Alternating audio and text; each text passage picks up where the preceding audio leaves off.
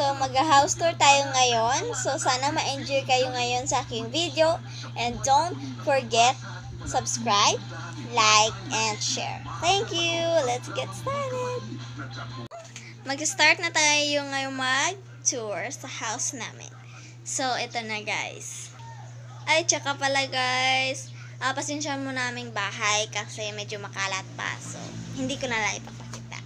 So, unahin, it, da- uunahin natin dito. Unahin dito. Ito guys, unahin natin tong bed namin. Pero hindi talaga akin to.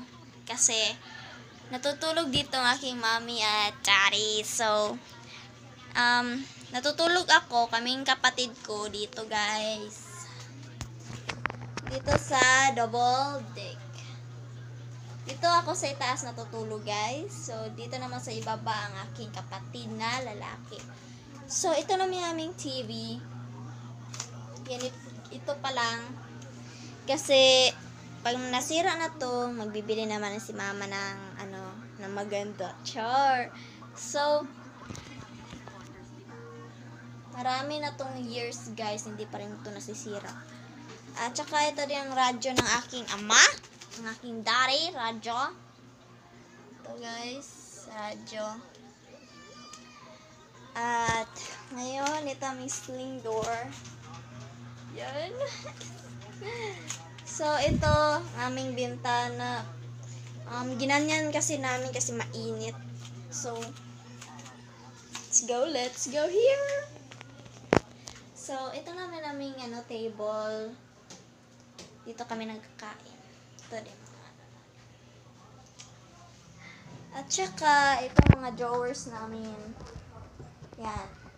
Ito sa akin. Dito din, at dito din, at dito din. Diyan.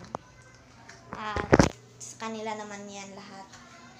At, ito mga upuan namin, guys. So, ito ang ref namin. Ang daming nakapilit dito, guys. At ito ang laman ng ref namin. Guys.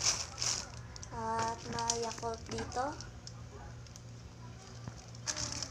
So, yeah.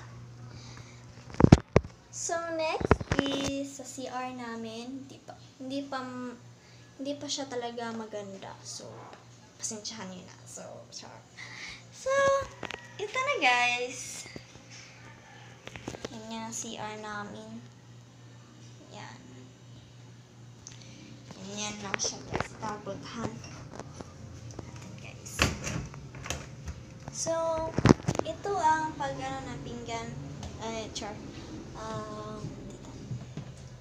Lagayan ng mga plato namin. At,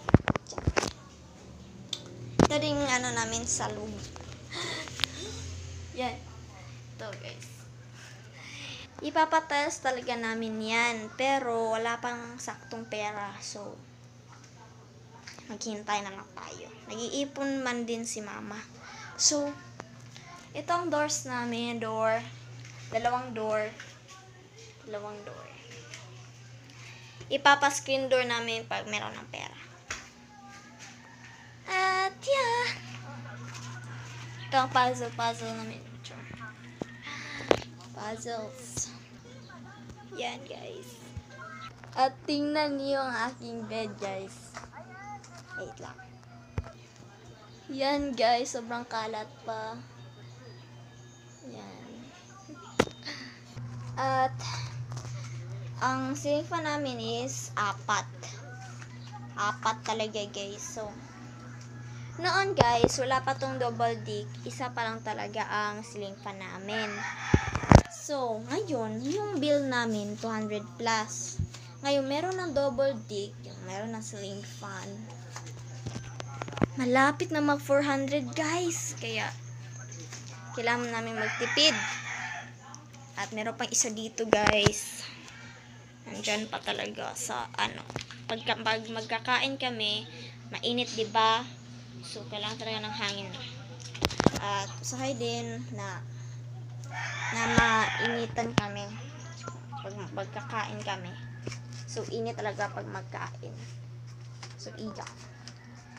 So, yeah. At saka guys, ang aking daddy is naging ninong na guys. Look at that. Naging ninong na si Papa. Marami na siyang anong kamag-anak. Nandiyan pa sa kapitbahay. Nandun pa sa kapitbahay at now din yun doon sa ano mm, basta so so dito na nagtatapos ang ating video. So don't forget to like subscribe and share. Thank you guys